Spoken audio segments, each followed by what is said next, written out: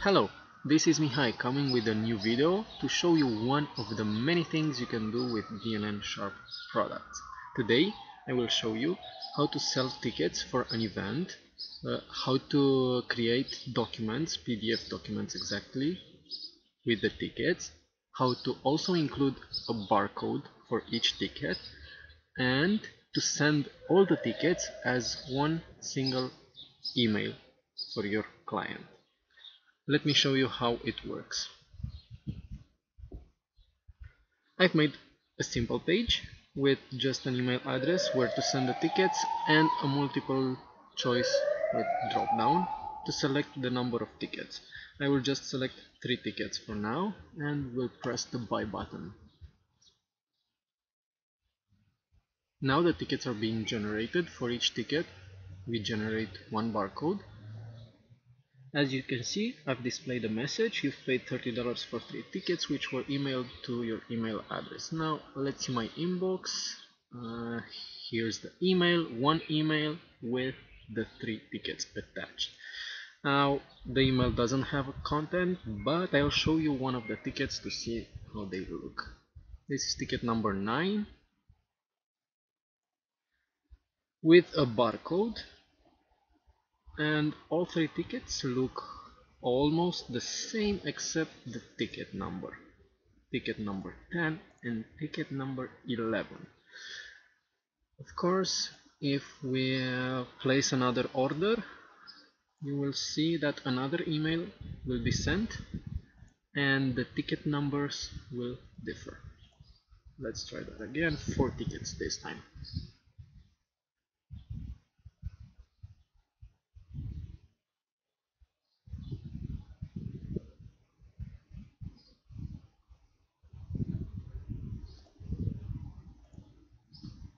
Here it comes. Four tickets, all in the same email. Ticket 12, 13, 14 and 15. The same layout, the only difference being the ticket number. Now let me show you how it was built. It's a simple action form and of course the barcode generator add-on.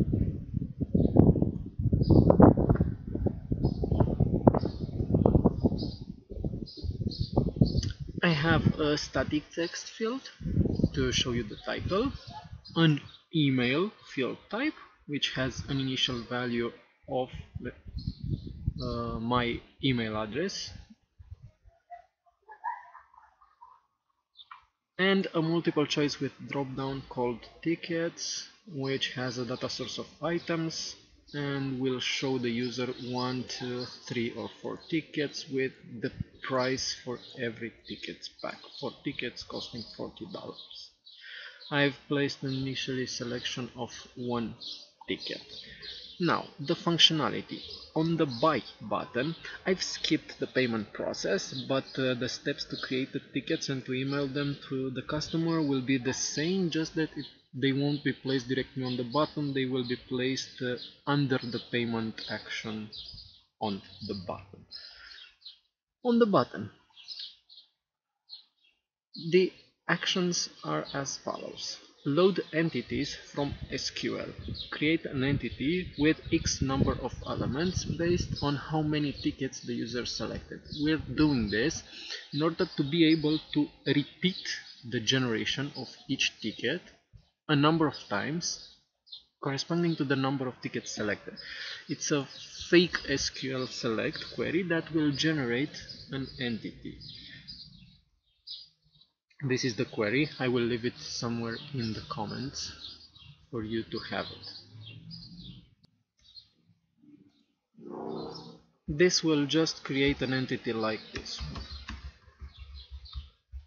based on number of tickets selected. In my case maximum four elements because I can select only four tickets.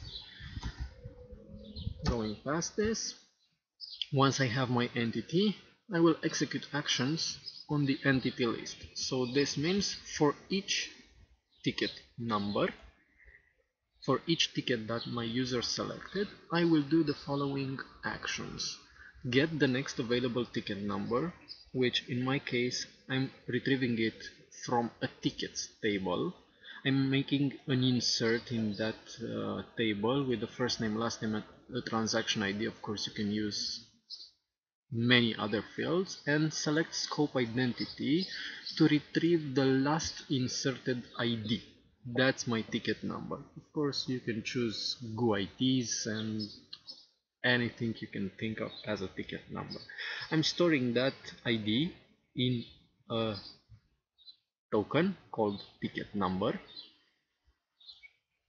Then once I have the ticket number, the next available ticket number, I will generate the barcode for that ticket number and my barcode has ticket and ticket number with an encoding of code 93, a barcode image width and image height. I'm going to save this barcode on the disk and save the URL into this token code. Then I will generate the PDF, the document for ticket number one. I have here some HTML code for the ticket. Inside the code I'm using the ticket number as text and an image with the source being the token from the generated image. This PDF file will have a name ticket and ticket number it will also be saved on the disk and I'm saving the link to this PDF file in ticket link.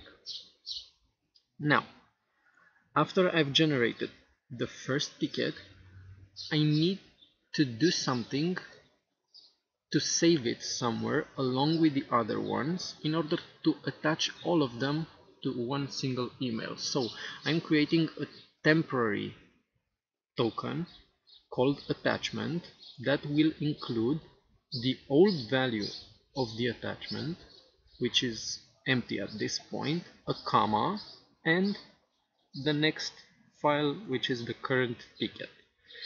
Repeating this many times will result in having ticket 1 comma ticket 2 comma ticket 3 comma. This will allow you to send the attachment as being the only attachment the email address sent to the user. Now, this will be executed for all tickets. At the end, you will have the attachment token, which will be placed on a send email action. Send email to your customer with some fancy text you want to use in here and attach from token. This is the token with the attachment which includes the URLs to all the tickets generated. And then display a nice message to inform the customer that the transaction was successful. For this message I've used display toast message because you can set it to display in the center of the screen with various colors.